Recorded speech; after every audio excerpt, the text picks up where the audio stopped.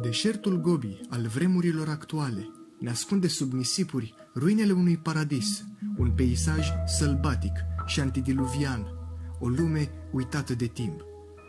Zisul mediu dispărut poate fi cel mai bine examinat în ce este acum cunoscută drept formațiunea geologică Nemect din Mongolia actuală.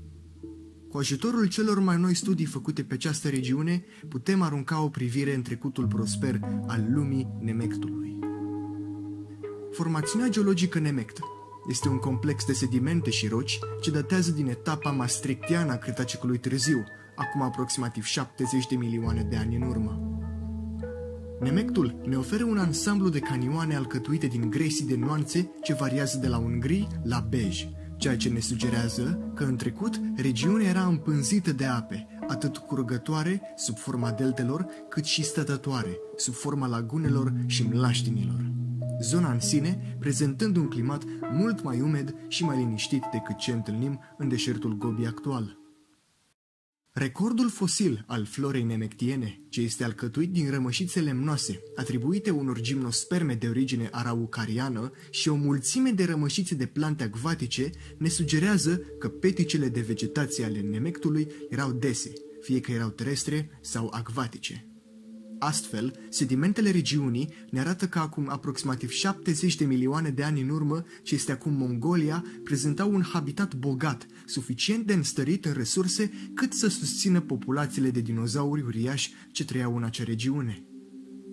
Deși Nemectul, în culmea prosperității sale, era un ținut cucerit și controlat de dinozauri, un ansamblu mult mai variat de organisme trăiau în umbra acestora, alcătuind baza lanțului trofic.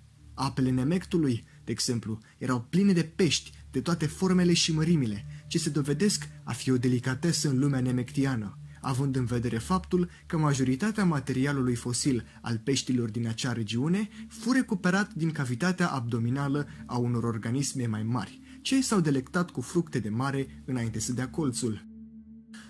Țestoasele erau de asemenea prezente în Nemect, recordul fosil al acestor animale, oferindu-ne atât taxoni adaptați la mediul acvatic, cât și la mediul terestru.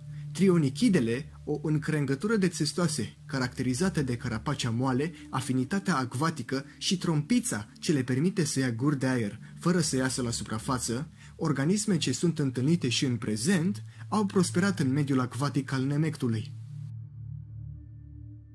Taxoni ai unei încrengături antice de țestoase terestre, și anume Nansiungechelidele, au fost de asemenea prezente în Nemect, dar în contrast cu suratele lor acvatice, aceste organisme dispar odată cu dinozaurii neavieni, specializarea lor înspre mediul terestru, dovedindu-se a fi un dezavantaj.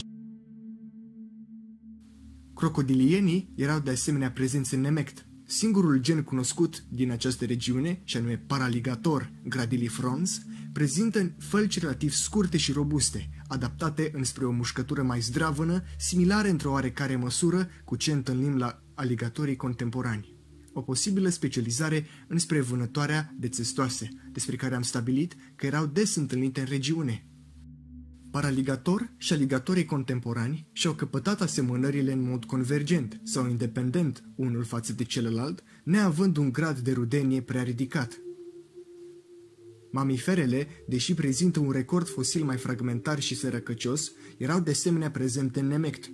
Dintre aceste mamifere, cel mai bine reprezentat este genul Catopsbatar catopsaloides, ce face parte din încrengătura multituberculata, un grup de mamifere ce nu prezintă descendenți contemporani, dar au fost extrem de bine diversificați pe vremea dinozaurilor.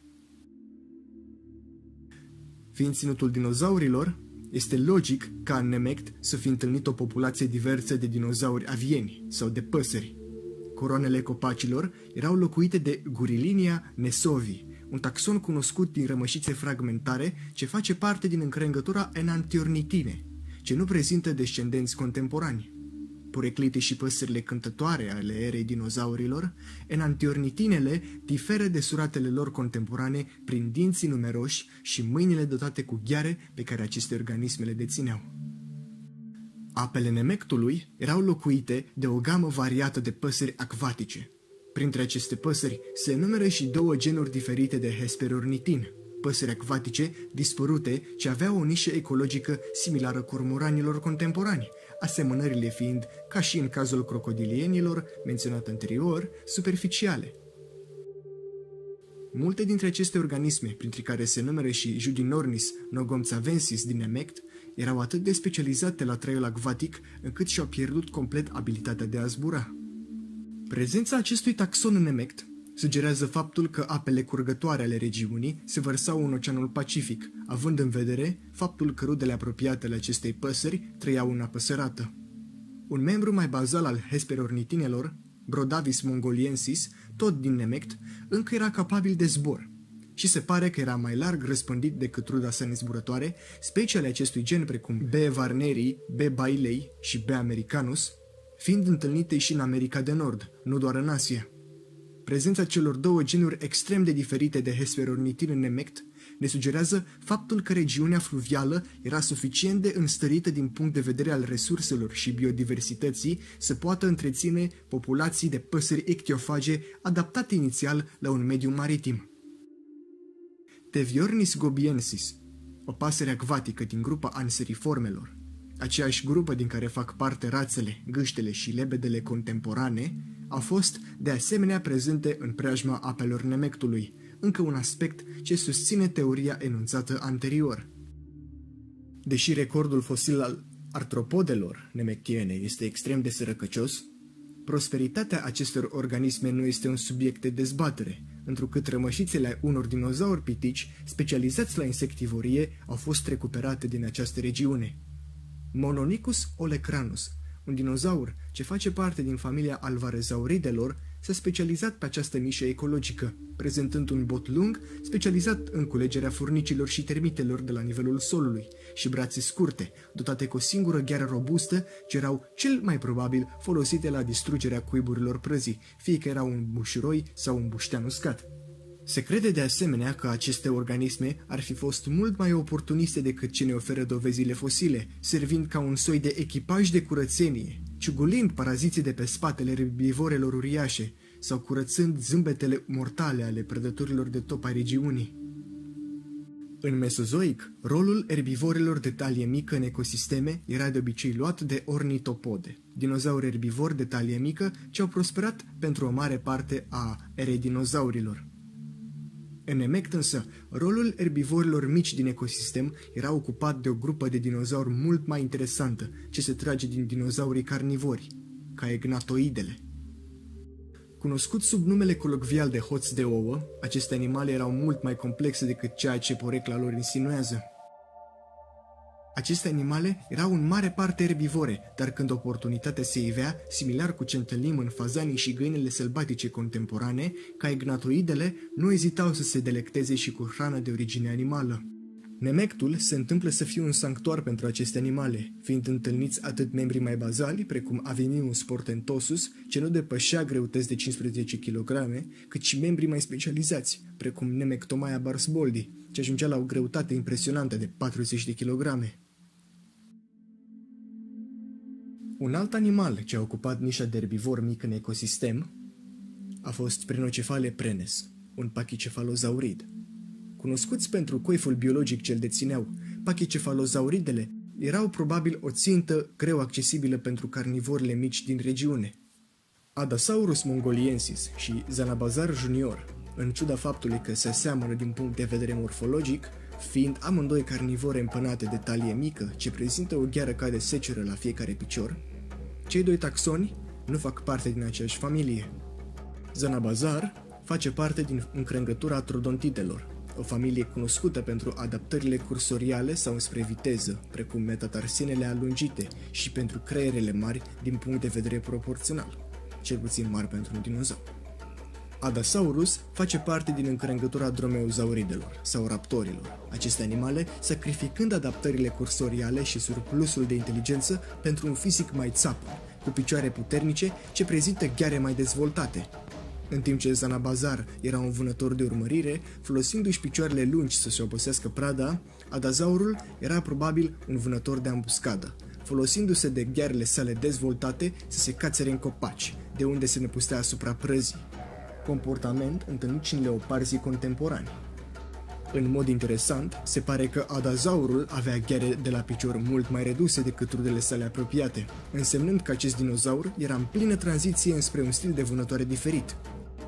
În orice caz, trebuie menționat că ambele familii, atât trodontidele cât și dromeozauridele, fac parte din grupa paravienilor, grupă din care fac parte și păsările contemporane. O altă familie de dinozauri, înrudită oarecum cu păsările contemporane, ce au trăit în Nemect au fost ornitomimidele, zi și dinozauri struț, ce probabil dețineau o nișă ecologică similară, folosindu-se de membrele posterioare puternic adaptate cursorial să scape de amenințări, fie într-o manieră evazivă, fie într-o manieră ofensivă. Zisele erbivore medii ale ecosistemului, cei doi taxoni cunoscuți de dinozauri struți din Nemect cad la pol opuși când vine vorba de dimensiuni. În timp ce specia Anserimimus planinicus abia depășea 50 de kilograme, ruda sa apropiată, Galimimus bulatus, este cel mai mare membru al ornitomimidelor descoperit, atingând greutăți de până la 470 de kilograme, un adevărat gigant printre rudele sale. Aceste animale alcătuiau probabil mare parte din meniul principal al carnivorelor medii din regiune. Alioramini, o încrengătură enigmatică și neortodoxă de tiranozauride.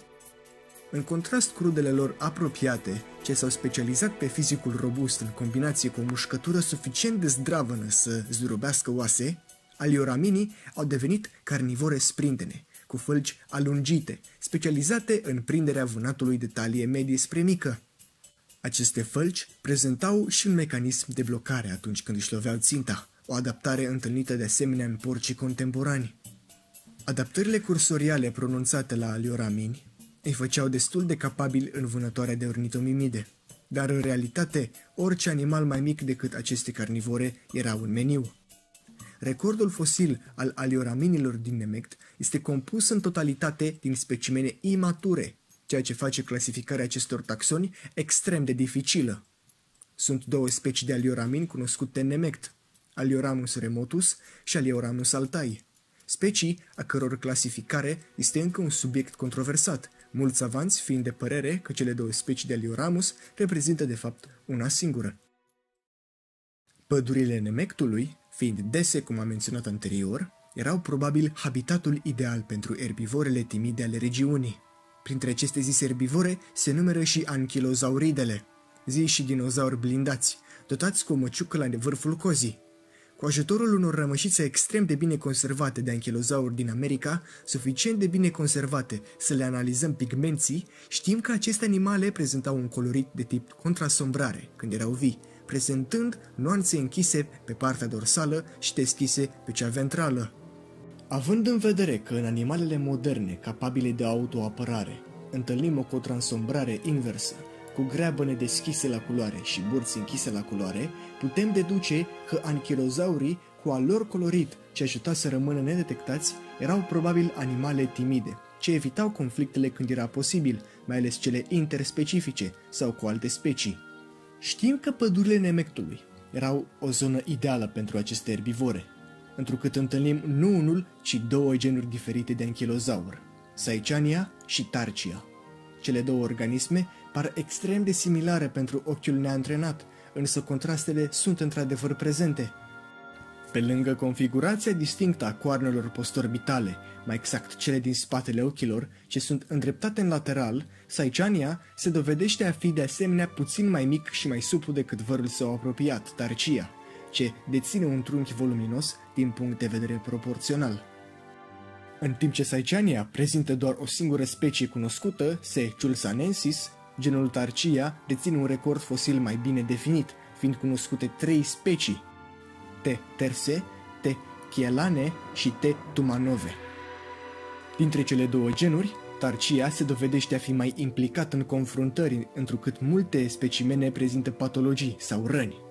Specimenul atribuit speciei T. tumanove prezintă niște zgaibe nasoale la nivelul bazinului, ce se potrivesc leit cu măciuca unui alt Tarcia, ce sugerează faptul că anchilozaurii, timiți cum erau, participau la dispute intraspecifice, adică între doi indivizi ai aceleași specii.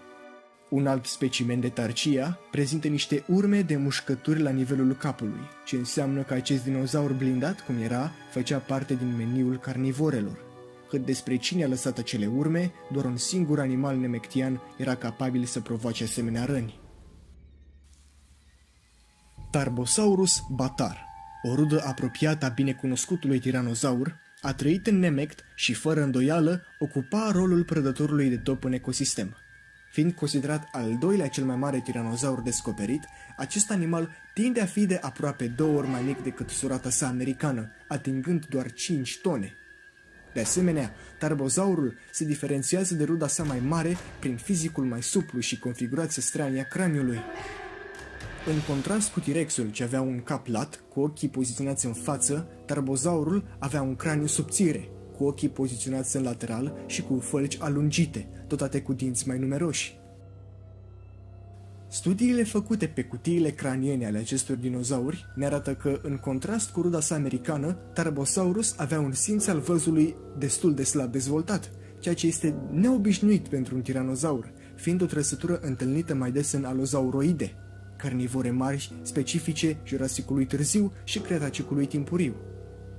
Ce este interesant din punct de vedere ecologic este că atât tarbozaurul cât și alozauroidele au trăit cu erbivore mult mai mari decât aceștia, ceea ce ne sugerează că aceste carnivore vâneau într-o manieră similară. Desigur, în contrast cu alozauroidele, tarbozaurul avea niște mușchi dezvoltați la nivelul fălcilor, ce îi permițea să muște cu o presiune de până la 4 tone, suficient cât să zdrobească oase sau să cresteze armura capilară a specimenului de tarcia discutat anterior. În mod interesant, tarbozaurul prezenta de asemenea un mecanism de blocare al fălcilor, o structură întâlnită și la alioraminii discutați anterior, fapt ce a făcut savanții să considere ipoteza că Alioramus reprezenta doar o etapă ontogenetică a tarbozaurului, mai precis un sinonim imatur al uriașului carnivor. Din fericire, tarbozaurul este reprezentat de un material fosil mult mai bine reprezentat, printre care se numără și niște specimene imature, cu ajutorul cărora savanții au reușit să deslușească zisa dilemă. Când savanții au comparat rămășițele de Alioramus cu cele ale tarbozaurilor imaturi de mărimi similare, au constatat că zisul carnivor mediu, pe lângă că era mult mai suplu, prezenta membrele și craniul mai lungi decât ce întâlnim la tarbozaurii imaturi justificând existența carnivorilor medii în Nemect. De aici rezultă că zisul mecanism de blocare al fălcilor, întâlnit în cele două carnivore, ar fi evoluat în mod convergent sau independent unul față de celălalt, însemnând că în Nemect era prezent un factor ce încuraja dezvoltarea unui astfel de structuri. După cum am menționat anterior, majoritatea erbivorelor pe care tarbozaurul le vâna erau mult mai mari decât acesta – Printre aceste erbivore se numără și Terizinosaurus, organismul cu cele mai lungi gheare ale istoriei vieții pe pământ. Aceste unelte, ce puteau depăși lungimi de un metru, erau în mod evident folosite în autoapărare. În mod interesant, acest animal avea și o postură destul de verticală pentru un dinozaur și oferea abilitatea să se întoarcă mai ușor în jurul axei sale, în cazul în care era luat prin învăluire de doi tarbozauri. Acest erbivor straniu și enigmatic ce prezintă un record fosil destul de sărăcăcios, face parte din încrengătura Terizinosauride, o grupă de omnivore generaliste, mici spre medii, ce au reușit să ocupe și să se specializeze pe rolul ecologic de erbivor, gâtul lung deținut de aceste animale, permițându-le să acceseze surse de hrană inaccesibile altor erbivore. Un alt uriaș aflat în meniul tarbozaurului, poate chiar și mai straniu decât Terizinosaurus, este Deinocherius, Deși forma specifică a ciocului te duce cu gândul că acest uriaș este de neam cu hadrozaurii sau zi și dinozauri cu cioc de rață, Deinocherius face de fapt parte dintr-o încrengătură specializată de ornitomimozauri, ce au început să-și folosească mai des membrele anterioare decât cele posterioare în autoapărare, reușind astfel să crească exponențial în mărime. Deși aceste animale sunt considerate a fi erbivore, nu ezitau să mănânce și hrană de origine animală când se ivea ocazia, întrucât în cavitatea abdominală a unui specimen de Deinocherius fură descoperite rămășițe ale peștilor nemectieni. De aici reiese de asemenea faptul că acest animal trăia în zone mlăștinoase. În mod interesant, aceste animale prezintă ceea ce pare a fi un soi de cocoașă la nivelul greabănului, folosită probabil în etalare, fiind probabil pusă un soi de presiune selectivă înspre indivizi mai voluminoși și mai capabili de autoapărare, un ilustrator, vine cu ipoteza că această podoabă a început sub forma unui strat în plus de penaj la nivelul greabănului, integument ce, din pricina mărimii mari a organismelor specializate, a fost înlocuit de țesut, rezultând în cocoașă. Vedeți voi, integumentul, precum părul și penele, cu rol în reglarea temperaturii corpului, tind a nu fi de folos în animalele ce depășesc 4 tone, moment în care acumulează căldură în mod pasiv.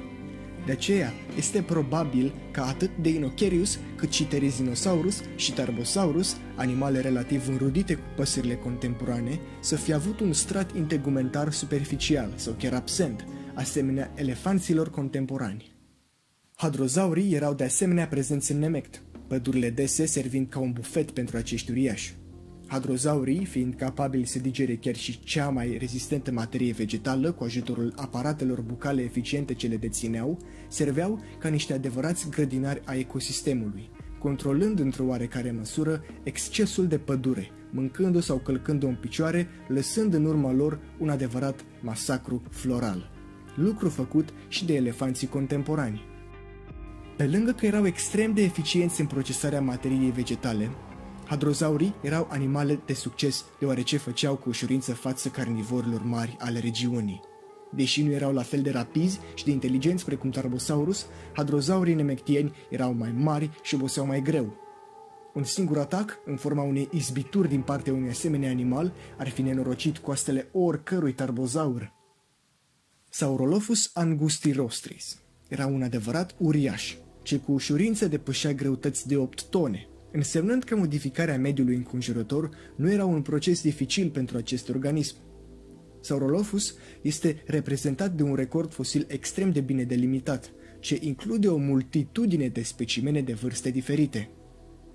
Celălalt hadrozaur nemectian însă, Barsboldia sicinski, un animal ce putea atinge greutăți de 6 tone, este reprezentat de un singur specimen fragmentar, ce cu mai multe analize s-ar putea dovedi a fi încă un specimen de Saurolophus. Barsboldia pare a avea procese spinale de la vertebrele toracice mult mai înalte decât ce vedem în Saurolophus, deci o concluzie solidă încă nu poate fi trasă. Hadrozaurii ce atingeau asemenea mărimi trăiau în medii unde sauropodele sau uriașii cu gât lung, ziși grădinari originali ai ere dinozaurilor, sunt fie foarte rari, fie absenți, însemnând că nișa de erbivor gigant era accesibilă pentru dinozaurii cu cioc de rață. Dar nemectul pare a fi o excepție, întrucât în acest mediu întâlnim un taxon de sauropod titanozaur specific perioadei. Ce nu era specific la acest animal, și anume Opistocoelicaudia skarzinski, este morfologia disproporționată. Acest organism prezintă niște picioare neobișnuit de scurte, ce susțin un torace extrem de voluminos și lat. Făcând parte din familia saltasauridelor, trupul voluminos, în combinație cu picioarele scurte, nu este ceva nou în această încrengătură. Chiar și așa, Opistocoelicaudia este pe departe cel mai voluminos membru al familiei Saltasauride. Acești uriași cu gât lung sunt de asemenea destul de mici pentru un sauropod, iar Opistocoelicaudia nu era deloc diferit. Deși putea atinge greutăți de 16 tone, fiind cel mai mare animal al ecosistemului, sauropodul nemectian abia atingea lungimi de 13 metri, gâtul său lung fiind accesibil părătorilor de top ai regiunii. Aceste trăsături au făcut savanții să vină cu ipoteza că Opistocoelicaudia era adaptat la un trai semiacvatic, toracele său fiind destul de asemănător cu cel de hipopotam, specializându-se astfel pe flora acvatică. Această zisă nișă ecologică a ajutat acest sauropod să evite competiția cu hadrozaurii, ce se dovedesc a fi mult mai eficienți în procesarea materiei vegetale. Și cu asta, jupunii mei, se încheie primul nostru clip din 2022. De v-a plăcut, dați frumos acolo pe mană like și te doriți să mă urmăriți conținut despre istoria naturală în viitor, nu uitați să vă abonați și să apăsați clopoțelul. Eu am Tolito.